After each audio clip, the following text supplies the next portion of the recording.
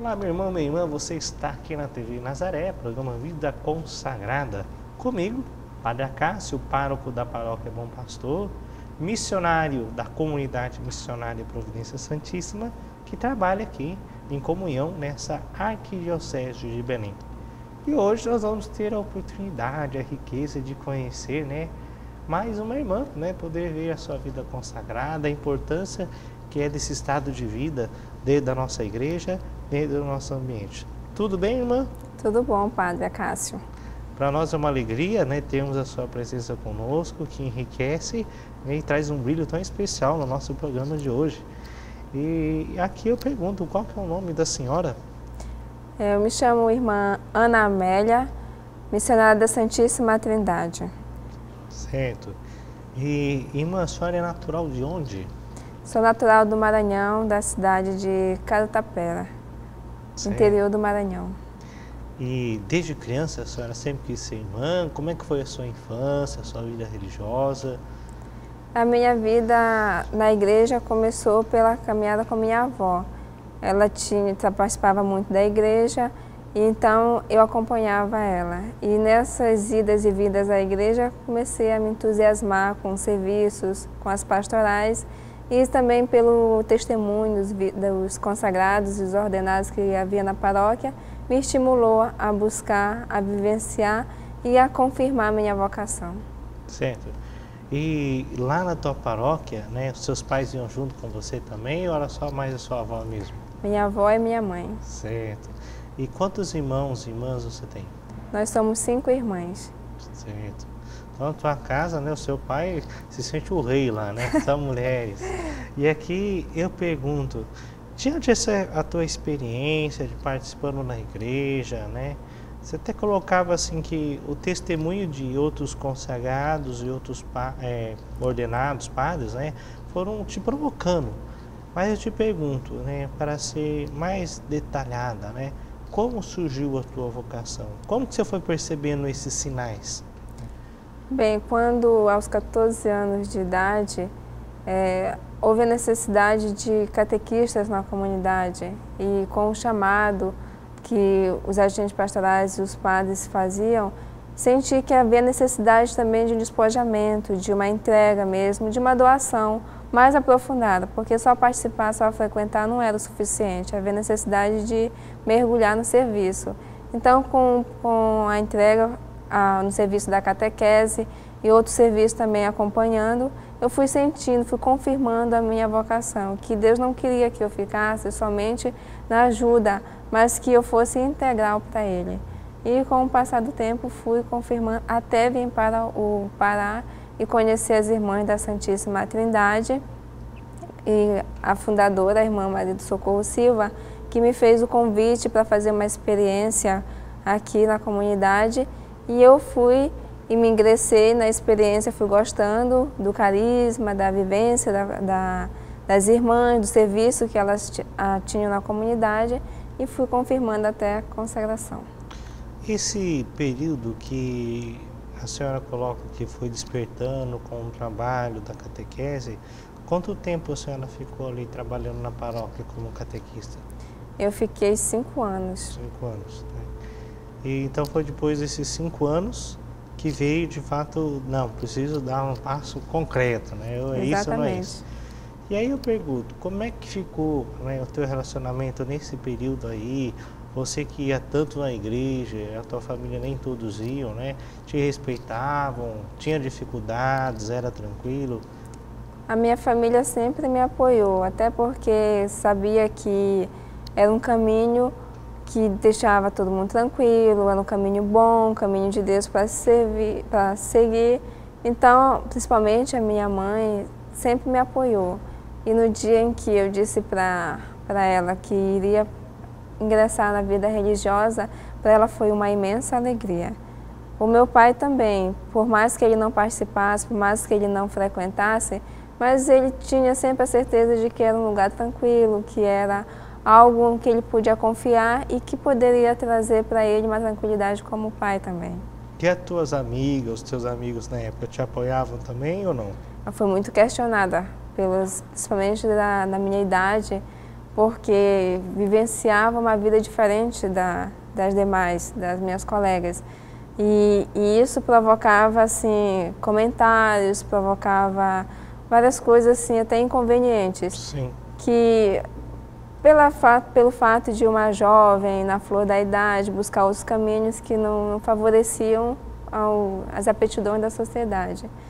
Fui questionada, mas depois fui compreendida até porque sabiam que o meu jeito, o meu comportamento não, era inadequado para aquele estilo de vida delas e que buscava realmente outras fontes. E a senhora chegou, teve experiência de namoro também nesse período ou não? Não. Certo. E, bem, aos 19 anos, então, a senhora entrou para a, a tua congregação. Isso. E aí eu pergunto, é, como é que a senhora veio conhecer, como é que a senhora veio parar aqui no Pará? Eu vim a princípio para morar com, com uma tia e a minha avó, que já conhecia aqui o, o, o lugar, pediu para que eu não me afastasse da igreja, que eu não deixasse de não deixasse o vínculo com a igreja. Sim. E tinha uma comunidade próxima à casa da minha tia, que a minha tia frequentava, e eu fui participar. E lá novamente a irmã Carmen fez o convite para catequistas, que havia necessidade também na comunidade. E também fui novamente no serviço de catequese e fui vivenciando com elas e ficando mesmo aqui na comunidade. Então, no primeiro momento você ficou com a sua tia, né? Sim. Antes de você para entrar é, na comunidade, né? No teu convento, quanto tempo você ficou com a sua tia? Um ano. Um ano, né? E a sua tia também se assustou quando você falou, olha, eu tô, tô indo embora, quero sair de casa, ou também teve essa mesma aprovação? Não, não, ela sempre foi muito aberta e também pela experiência dela mesmo com a igreja, já nos serviços que ela também já faz na igreja, ela é focalarina e então é, foi muito aberta, muito livre. Certo. Antes de você entrar, você teve a oportunidade de ir lá conversar com seus pais, com Sim. sua família? Sim. Certo. E aqui eu pergunto, né, é, por que que com tanta, eu sempre falo e recordo que a igreja eu tenho a impressão que é como se fosse uma grande feira, né? Com várias barraquinhas. Às vezes com os mesmos produtos, mas com as suas qualidades e, e as suas especialidades próprias. Uhum. Aquilo é que eu sempre coloco diante da igreja, né? Que para aqueles que querem optar pela vida consagrada, sempre tem que entrar nessa feira. E que cada barraquinha é como se fosse uma congregação, um instituto, uma associação, uma comunidade, um seminário. E que a gente tem que conhecer para ver qual o produto que vai nos agradar mais. Estou falando de uma maneira um pouco é, capitalista, mas para que, que possa entender. E aí eu pergunto, o que te levou diante de tantas congregações, tantas, tantas realidades, poder justamente escolher esse carisma que a senhora hoje vive? O que me levou a escolher foi o, o testemunho das irmãs.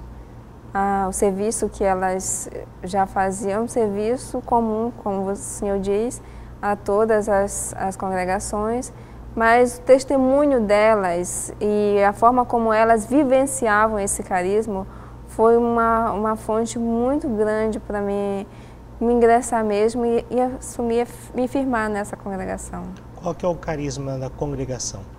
O carisma da congregação é viver a Eucaristia como pão partilhado. Certo.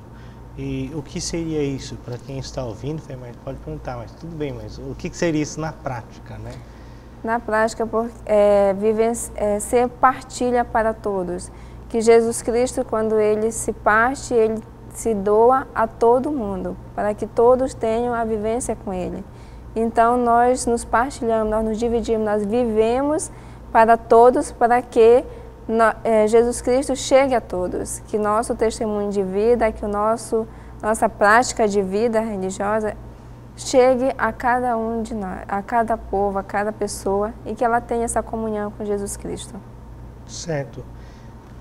E quais a senhora colocou que muito que chamou atenção, além do carisma, atividade das irmãs, o trabalho, tudo. Qual, qual que eram os trabalhos que elas realizavam na época que a senhora enxergava?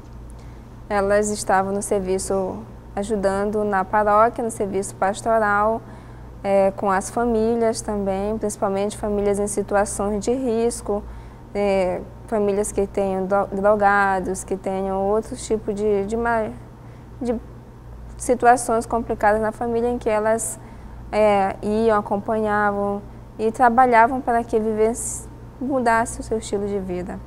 Certo. Qual que é o nome da congregação mesmo? Irmãs Missionárias da Santíssima Trindade. Certo. E por que, como é que surgiu, como é que ganhou esse nome? Ah, o nome ganhou pela inspiração, a nossa superiora. Ela teve uma inspiração em oração para vivenciar este, é, usar este nome e expandir o nome da Santíssima Trindade em todo o mundo. Certo. E a congregação nasceu de que forma? Como que despertou isso na funda é uma fundadora só? Sim. Qual é o nome da fundadora? Irmã Maria do Socorro Silva. É uma congregação brasileira, estrangeira? Sim, sim, é brasileira, aqui de Ananindeua. Ah, é? Não sabia. E quantos anos tem de fundação? Dez anos. É uma congregação bem nova também, sim. bem recente. E aqui eu pergunto então, diante dessa congregação que está nascendo, como que despertou esse carisma é, na fundadora? Esse, esse carisma na fundadora veio junto também com as direções espirituais dos diretores dela, que na época era o Dom Carlos Vezeletti e o Dom Zico, Dom Vicente Zico.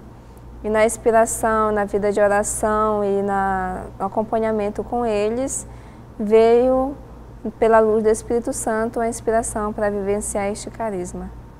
Certo. E no dia a dia, como espiritualidade, é, o que, que vocês realizam, o que, que vocês fazem na vida de oração?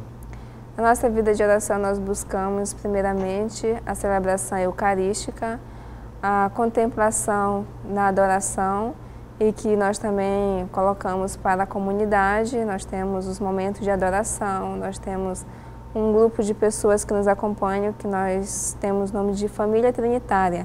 Com essas pessoas também que nós trabalhamos essa espiritualidade de oração, de contemplação, de retiro e de todas as formas que a igreja nos oferece para vivenciar essa espiritualidade. Certo.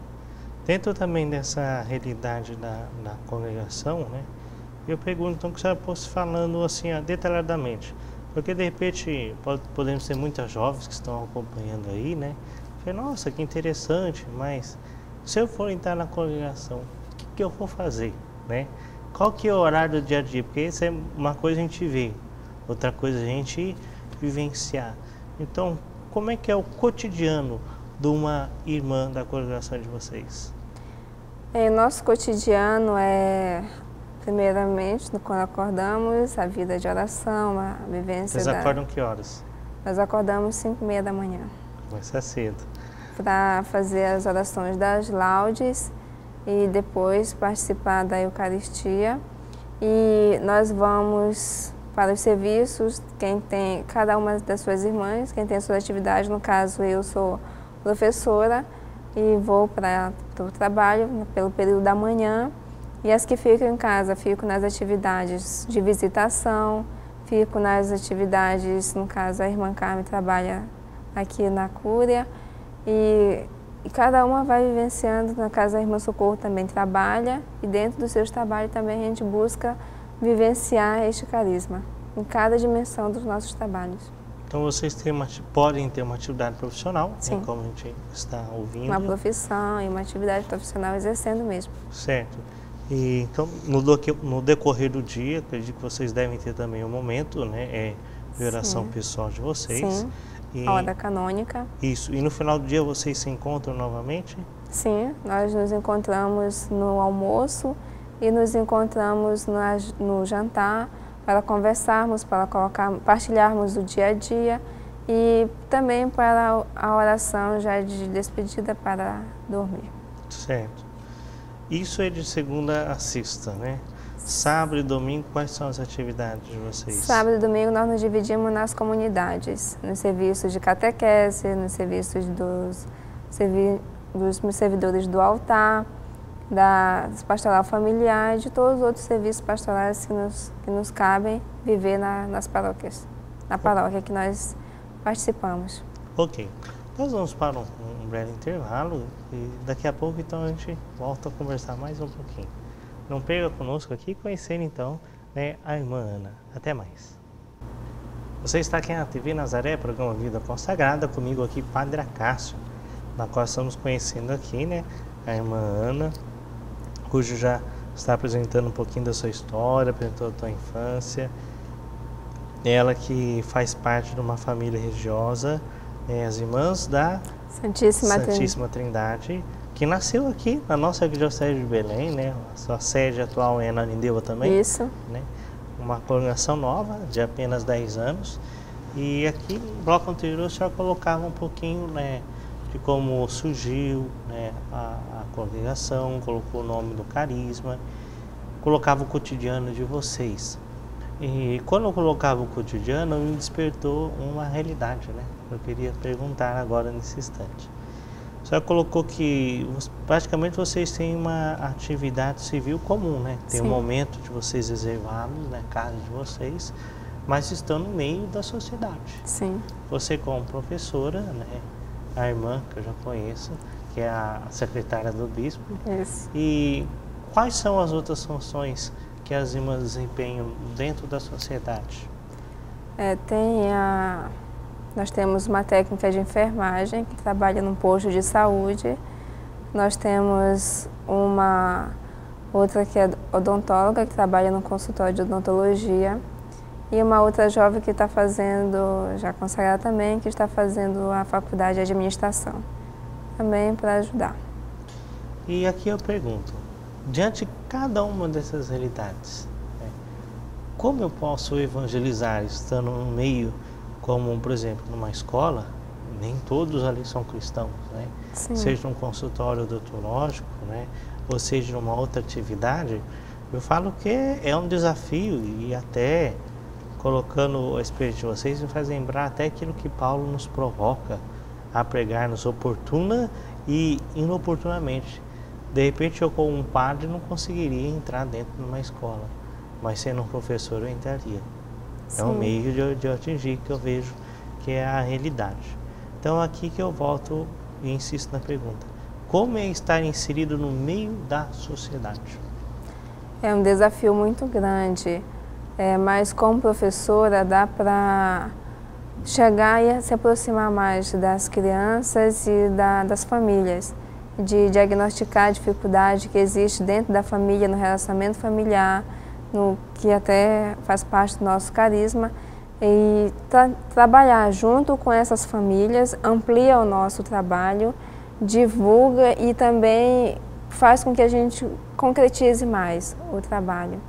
No caso, a irmã que trabalha no posto, muito mais ainda, porque é muito solicitada para tudo, as pessoas que é até a nossa geral, nossa superiora, e a fundadora também. E ele é muito solicitado, as pessoas têm uma grande confiança nela. É, nos, sempre que nós, qualquer hora de madrugada, qualquer hora do dia, que houver necessidade de chamar, de buscar para atender, no, no caso de saúde, de doença, ela está sempre disponível, está sempre atenta, está sempre indo e levando. E junto com, a, com o serviço dela também, coloca a presença de Jesus Cristo, a firmeza de Jesus Cristo na vida dessas pessoas. E percebe que há um certo preconceito onde vocês chegam ou as pessoas acolhem bem? Não, nós, pelo menos na comunidade e nos trabalhos onde nós estamos, nós somos bem acolhidas. Certo. A escola que a senhora trabalha é uma escola particular, estadual? Municipal. Municipal, certo. E, então, como que conseguiu, como que entrou dentro dessa escola? Né? Assim que eu terminei a faculdade, fui recebi o convite porque a, a diretora da, da escola, ela é de uma comunidade nova, uma das comunidades de serviço da igreja, então ela e junto com o diretor espiritual dela também, que é um padre, nos fez o convite. Já nos conheciam, nós irmãs, e nos fez, me fez o convite para participar e para ajudar também dentro da escola. Certo. E a senhora leciona o quê? Língua portuguesa. Ah, certo. Para ensino fundamental? Ensino fundamental. Certo. Aqui eu pergunto, hoje lidar com jovem, né, adolescente, é um grande desafio. Eu lembro que eu tinha um amigo que era padre que ele brincava que quando ele entrava na sala de aula, ele pegava na cadeira e o chicote para enfrentar os leões, né?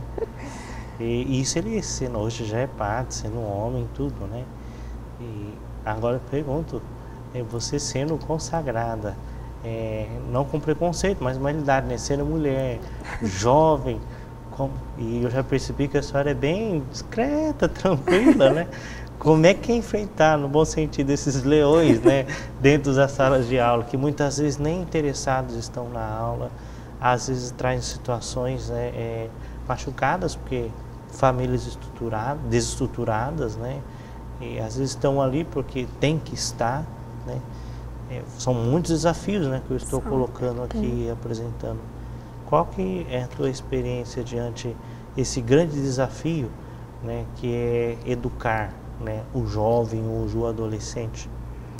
Bem, eu primeiramente tento manter a calma diante das situações e diagnosticar os problemas. Aquela criança que tem um grau de violência muito alto e aquela criança está muito dispersa, então eu procuro diagnosticar a situação de cada uma e trabalhar junto com a família. Chegar com a família, colocar a situação e junto com a família buscar formas para solucionar. Porque o desinteresse das crianças, a dificuldade que elas trazem para dentro da escola, não surge dentro da escola, surge nas famílias, elas levam da família para a escola. Então, como consagrada, e tenho que ter esse, esse olhar humano para elas. E buscar ver de que forma podemos solucionar esse problema trabalhando com as famílias. Buscando os pais, colocando para os pais a necessidade de amar, de educar, de respeitar e de ter esse diálogo também com os filhos que muitas vezes não há nas famílias. Isso exige também da senhora um trabalho extra-escolar? Exige. Certo. E como é que a senhora gerencia isso?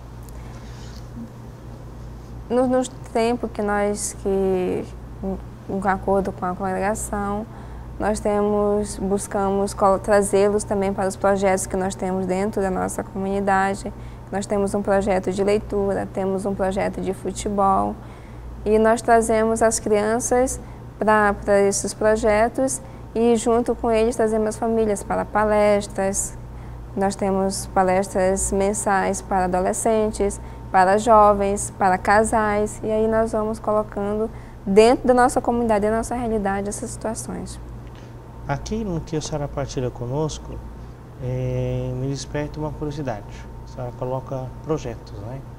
É, poderia especificar para mim como é cada um, o que, que vocês fazem, de que jeito, seja o projeto de leitura, seja a reunião com os pais, seja a realidade que você colocou. Né? Então gostaria que nesse momento a senhora fosse falando um por um, né, explicando detalhadamente, porque quem sabe a senhora está dando a oportunidade para que muitos que estão aí nos acompanhando, nossa, olha, eu posso fazer isso também né, lá na minha escola, posso fazer isso também ali na minha comunidade. Certo, nós temos o, o projeto de futebol, nós atendemos crianças entre 10 a 15 anos.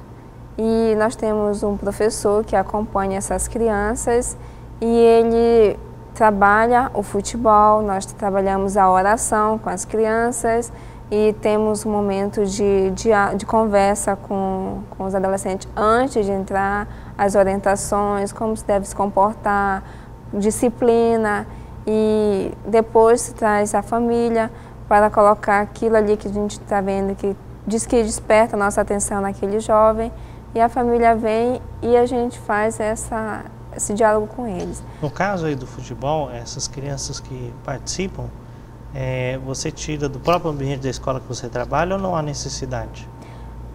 Não, não há necessidade. Nós atendemos as crianças mesmo da comunidade e se tem algum na escola que eu vejo que, que há necessidade, converso com os pais e vão frequentam. Certo.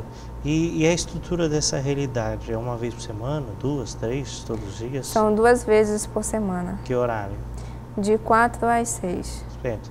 Dessas quatro às seis, aí tudo isso, aí todo dia, por exemplo, no caso como você se nesse caso aí, é, essas duas vezes por semana, toda essa idade de orientação, de, de praticar o esporte, é tudo isso de uma vez só ou, ou um dia só o esporte, outro dia só a orientação? Como é que é? Não, tem o momento.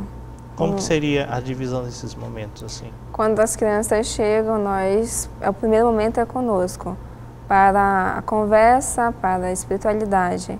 E logo em seguida o, o treinador toma essas conta. conversas, essas, essas espiritualidades seriam o quê? Nós trabalhamos respeito, nós trabalhamos disciplina, dinâmicas que levem eles a uma conscientização de como eu devo me comportar dentro do campo, fora do campo, na família, o respeito um com o outro, respeitar, evitar o uso de palavrões e tudo mais dentro do limite. Tem que a questão da educação, assim, ah, se você xingou, você vai ter que sair e ficar de castigo por um tempo, não vai poder jogar. Tem essas idades também ou não? Como é que vocês trabalham isso? Porque uma coisa é a gente orientar, né? Mas às vezes assim, no meio do percurso alguém acaba se trombando e tem a, a exaltação, né? Como é que vocês resolvem essa dificuldade disciplinar? É, uma das primeiras regras para jogar no futebol são as notas na escola. Ele tem que melhorar as notas da escola, então tem que trazer para nós o boletim para ver como é que está. E se caso ele não tiver alcançado, vamos ver como foi, por que, que não chegou a essa a esse desejo, essa nota nós vamos trabalhar e ele fica afastado por um, do, um ou dois tempo de jogos e caso indisciplina também, ele fica afastado. E como eles gostam muito e são loucos pelo jogo, então eles concordam e aceitam e, e também buscam melhorar para participar. Há um momento então de oração, de, ora, de orientação, vem o jogo, depois do jogo tem alguma outra atividade ainda ou encerra? Tem o lanche e tem a oração para de despedida. Tá. E esses lanches, como é que vocês conseguem? É um trabalho social de vocês? Vocês têm benfeitores? É, nós temos benfeitores. Certo. E, bom, esse é o primeiro trabalho, você colocou do futebol. Qual que é o outro projeto que vocês têm? Nós temos o projeto de leitura, de, que é o projeto Conhecer para Amar. E nesse projeto nós trabalhamos em especial as crianças que não tem um bom desempenho na leitura, que ela não tem um gosto pela leitura. Qual que seria a idade? Ah, nós atendemos crianças de, que já estejam na terceira e na quarta série do ensino fundamental. Certo. Também esse, esse fato também não é somente na escola onde trabalha, mas qualquer criança sim, da, sim, da comunidade. Da comunidade. Como é que é feito esse encaminhamento? Vocês vão atrás ou tem próprios próprios pais procuram vocês, ou a própria paróquia, ou a própria escola? Como é que é feito esse encaminhamento? No início nós fizemos as visitações, colocamos o projeto à exposição dos pais e agora não, agora os pais mesmo nos procuram, vão atrás, buscam saber como é que é e colocam a criança lá. E nós trabalhamos com as crianças com dinâmicas, com dramatizações, com painéis, com é, visitas no Centu e em outros lugares assim para abrir os horizontes das crianças. E o conteúdo de leitura, o que, que é? Quadrinhos, é textos bíblicos, é autores aí conhecidos, populares? Qual, qual que é o... É, nós começamos, buscamos ver o que é mais fácil para as crianças. Primeiro, buscar aquilo que eles gostam, os quadrinhos. Depois nós vamos para a literatura infantil, e depois nós vamos buscar os textos diversos, tudo que há a possibilidade deles lerem. E a resposta deles é, é rápida, leva algum tempo? Como é que é esse procedimento? Porque é um desafio você plantar numa. Que eu assim, hoje até o brasileiro, né? Não são poucos que gostam de ler. E para ajudar, um livro hoje, ele, ele para o nosso capital, ele se torna caro adquirir um livro. Então, como é que é trabalhar esse gosto? Como é que vocês plantam esse desejo na criança? Depende de criança para criança. Depende daquela que tem mais um interesse, que tem mais uma abertura, o avanço é mais rápido. Agora, com aquela que tem mais dificuldade, nós temos que buscar meios para atrair, para despertar nele o desejo pela leitura. É um processo é, individual para cada criança. Certo. Esse é o projeto de leitura, né? Qual que é outro projeto que a senhora colocou também? Nós temos também um projeto com a melhor idade. Uma das nossas irmãs acompanha. É, nós eles se encontram nas quarta-feiras, das 14 às 18 horas. Ou seja, eles passam a tarde toda na comunidade, eles têm jogos de dominó, de dama e outros jogos mais. Eles têm um professor que os acompanha com dinâmica, com trabalhos mesmo que movimentem o corpo. Tem a, a, a, a irmã que acompanha ele, a técnica de enfermagem, de vez em quando verifica a pressão deles e acompanha também uma assistência é, à saúde deles. Ok. Então nós vamos fazer um pequeno intervalo, né? E peço que você continue conosco aí, conhecendo né, a irmã Ana, sua congregação e todo o trabalho tão rico né, que na sociedade elas têm realizado aqui em nosso meio.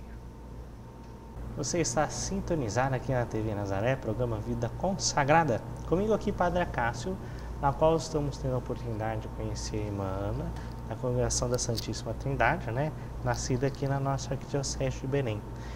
Dentro da sua congregação, nos blocos anteriores, a senhora colocou uma riqueza que eu falo que é essencial para o nosso, meio. A igreja deve estar no meio do povo. Por muito tempo, né, o povo veio até a igreja né, e nós podíamos ficar acomodados. Hoje nos encontramos numa situação que, para uma boa evangelização seja eficaz, não podemos ficar acomodados, mas a igreja deve ir até o povo. E mesmo com os 10 anos de fundação, aquilo que a senhora partilha, eu vejo que a sua congregação é uma resposta para a necessidade, para o apelo que a igreja nos faz hoje. Tanto como no seu testemunho como professora, na qual é engajada né, dentro de uma escola municipal, tem toda a atividade com os alunos, né?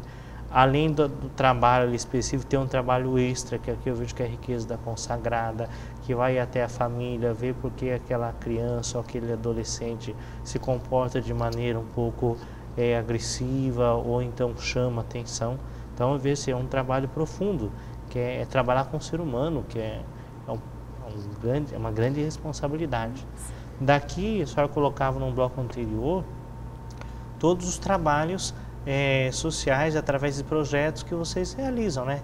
Colocamos, né, sobre o da, da escola, o reforço escolar, né, que seja a leitura, Sim. seja do futebol e seja também da convivência que agora a senhora vai colocar, que é um outro trabalho. E aqui eu pergunto, também lembro que a senhora coloca que vocês se reúnem muito com os pais, né? Sim. E aqui eu vejo um desafio eu como um pároco, quando eu tenho que marcar uma reunião com os pais para conversar sobre a catequese, de 100%, né? É, se eu for ver, eu sou frustrado, porque se chegar a 40% dos pais que respondem, são muitos, né? Aqui eu pergunto, como é que é trabalhar com essa realidade de formação de pais, que é um desafio maior ainda, porque às vezes o aluno não está interessado e o pai com a mãe menos ainda, né? Como vocês trabalham isso e nas formações que vocês fazem com os pais, o que, que vocês trabalham com eles? Bem, para chamar os pais, nós temos que colocar para eles responsabilidade enquanto pais. É, quando eles não respondem, não vêm até nós, nós vamos até eles. Vão até nós na vamos nas um casas, um. nas casas. E qual que é a reação deles quando vocês chegam, uma irmã, olha, estão vindo aqui porque teve reunião dos pais, vocês não foram. Qual que é a atitude dos pais? A princípio eles ficam um pouco temerosos, mas aí com um jeitinho nós vamos entrando na conversa, colocando para eles quanto é importante que eles estejam presentes para as decisões que vão dar resultado para os filhos deles e para eles também. Então, nós vamos procurando colocar neles essa responsabilidade. Tem a necessidade, às vezes, numa família, de mais de uma vez, naquele pai? Vocês marcam uma reunião, não foi. Marca, não foi de novo. Ah, vocês são insistentes de voltar sim, lá? Sim, E conseguem ter respostas objetivas sobre sim, isso? Sim, conseguimos sim. Com um pouco de insistência, eles chegam aí. Por mais que não demore muito, depois tenha que voltar novamente, mas nós não podemos desistir. Isso. Perseverança é fundamental, né? E aqui, então, insisto naquilo que eu perguntava. E o que vocês trabalham com os pais? Nós trabalhamos vários temas, no caso, de, tema de reflexões. É, pai e mãe, é, diálogo entre pais e filhos. É, também nós trabalhamos filhos inseridos na sociedade, responsabilidade dos pais na educação dos filhos e outros temas geradores mesmo voltados para a família. E vocês conseguem ver a diferença com o tempo de trabalho, a mudança na criança? Sim, sim. Quando o pai começa a participar, nós temos é, várias experiências enriquecedoras mesmo desse retorno da família. Inclusive, então, nós partilhe conosco então quais são essas experiências. Nós tivemos um caso de, entre outros, nós tivemos um caso especial de uma criança em que os pais eram separados, o pai era é católico, mas não muito muito frequente, e a mãe mudou de religião, era protestante, e a criança optou pela, pela religião católica e desejava fazer a primeira Eucaristia. E a mãe colocava sempre desculpas e procurava é, dificultar a participação dele na igreja, mas como ele ia nos finais de semana para a casa da avó, ela fazia esse acompanhamento conosco. E do, no caminhar das coisas, nós íamos atrás da mãe, conversávamos com a mãe. E no dia da, da, da Eucaristia dele, ela veio para a celebração e esta criança chorava desesperada e a mãe do outro lado chorando. E a irmã chegou para ela e disse: Calma, ele só está emocionado pela, pelo momento dele. Ela disse: Não, irmã, é porque ele tem confiança ele tem certeza da fé dele que foi que ele buscou e que ele encontrou aqui. Então a mãe já reconheceu a presença e a participação dele e a vivência mesmo da fé dele na igreja. E sendo uma, uma mãe protestante, né? Certo. É, além desses temas, também vocês têm experiência, colocou da mãe, mas vocês têm experiências também concretas de ação de Deus na vida desses pais? Essas visitas, essas mudanças, conseguem enxergar também? Sim, sim é, vários pais. É, com o passar do tempo, nós tínhamos também um, um, jovem que vivia na situação das drogas e que com esse acompanhamento dos pais e essa participação deles na igreja, na, na adoração mesmo, colocando, colocando Deus mesmo na vida deles, é, conseguimos, junto com a família, tirar esta criança, este adolescente da droga. E, e a família hoje é eternamente grata a Deus, claro, pela participação e pela vivência mesmo dentro da igreja. Eu sempre gosto de afirmar que formar uma pastoral, abrir um grupo é, é muito fácil. Comprar um patrimônio é fácil. A dificuldade, eu falo depois, é manter, seja Sim. uma pastoral, seja um patrimônio. E assim também eu vejo também como os projetos sociais. A gente criar, fazer um projeto, iniciar ele é coisa muito fácil. O desafio é poder mantê-lo. Aqui eu pergunto, como é que vocês fazem para manter todos esses trabalhos sociais? Porque isso, querendo ou não, implica um custo, né? E como é que vocês administram? Você até colocou agora há pouco também que há pessoas que ajudam vocês, né? Então, como é que vocês fazem para conseguir esses benfeitores? É, se alguém quiser ser benfeitor para ajudar nesses projetos, o que, que, que, que faz? Bem, nós já temos ah, um grupo de pessoas que nos ajudam, no caso a família trinitária é um grupo também que se expande em busca de benfeitores. Nós temos os benfeitores próximos que conhecem já o nosso trabalho, confiam naquilo que a gente faz e ajudam, buscam ajudar. Também quem quiser participar, quem quiser nos ajudar, estejam abertos, procurem a, a irmã Carmen, que trabalha aqui, a irmã Carmen que é mais próxima, é a secretária do bispo, então, que ela é, procure ela, procure saber de que forma você pode ajudar. E também as, aos benfeitores que já nos ajudam, também nós somos muito gratas. Também nosso salário também que nós temos, recebemos, nós também colocamos à disposição de, dos nossos trabalhos. Certo. Irmã, como consagrada, a senhora já é consagrada perpétua ou temporária? Temporária. Temporária. Quanto tempo falta para a perpétua? Tem um tempo certo ou é relativo para cada formanda? É, é relativo para cada formanda. Certo. A tua experiência de vida consagrada, é, maior parte, então, se eu estou enganado ou não, foi tudo na escola, né? Sim. E eu vejo quais são os sinais de Deus que marcam a sua vida consagrada, vendo todo esse trabalho social que a senhora realiza, quais são? Deus ele nos mostra muitos sinais. O fato de você ver que uma família consegue se reestruturar isso é uma gratificação muito grande, porque Hoje as famílias elas estão numa fase, um estado de vida muito precário. Então, ver que, que essa família está buscando Deus, que essa família encontra Deus na sua vida, não tem coisa melhor do que as pessoas viverem a vida pautada em Deus, terem toda e plena confiança de que Deus é aquele que, que acolhe, aquele que busca, que vai atrás, é aquele que chama e que acolhe. Certo. É, dos fatos e escolas, tem situações já que marcam a sua vida consagrada? Que a senhora fala assim, nossa, olha, se eu não tivesse aqui, o que será que teria acontecido? A gente sabe que Deus sempre tem os seus problemas, mas de poder ter situações que a senhora pode perceber, nossa, olha, Deus me usou para ajudar tal aluno, para ajudar tal pai, né? Que testemunho a senhora teria sobre isso? Nós uh, tinha uma adolescente que ela ela estava muito triste, muito cabisbaixa e fui buscar saber qual era a situação dela e que ela estava com os pais em processo de separação e a dificuldade ela dizia que estava no, no pai dela. Então, na conversa que tive com ela, não cheguei a conversar com os pais, mas instruindo ela para ela ter um diálogo, uma vida de relação com o pai, chegar com o pai, conversar, ter essa relação com ele. Com o tempo, ela veio me dizer que a situação amenizou, os pais não se separaram e hoje eles vivem uma vida muito feliz e muito tranquila. Claro, com dificuldade deles, mas já melhorando. Falando da sua congregação um pouquinho, quando a candidata entra para a congregação, ela já tem que ter já algo encaminhado como profissão ou não? Não, não, não necessariamente. Se ela já tiver, é bom para ela, mas dentro da comunidade nós primamos por isso, para o profissionalismo da jovem. E então, no caso, depois ela vai ter liberdade. Todas vão ter que ter alguma profissão, no caso, ou não há necessidade?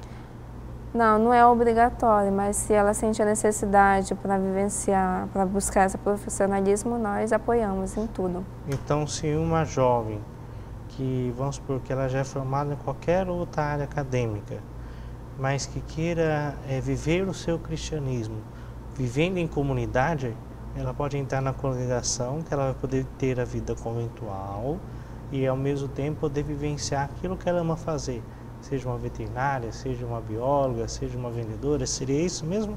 Sim, ela pode vivenciar o profissionalismo dela dentro da congregação é, livremente. Certo. E hoje, mais ou menos, vocês são em quantas irmãs? Nós somos oito. Oito irmãs. Todas aqui em Belém, em Ananindeua, ou já tem em outros lugares também? Nós temos uma comunidade em Ananindeua e uma comunidade aqui em Belém. Certo. Para alguém, para alguma jovem que nos acompanha e tem o desejo de conhecer vocês, né? Qual que é o endereço das duas casas de vocês, sabe me dizer? Em Ananindeua nós estamos na Rua Cristo Redentor, 377, no Icuí, Guajará. O telefone é 3287-5738. Pode repetir o telefone de novo para alguém de repente, ah, cadê a caneta, cadê o papel? Né? Então tá lá pegando, 3287 5738. E aqui em Belém nós estamos na Casa Episcopal. Certo, juntamente com o arcebispo, na rua Exatamente. Doutor Moraes ali, né? Isso. né? Certo. Aqui também, é, se alguém quiser conhecer, pode ficar alguns dias com vocês lá, alguma jovem também, sem problema, só entrar em contato. Sim, é só entrar em contato, pode passar final de semana, uma semana, dependendo da situação da, de cada um. Certo.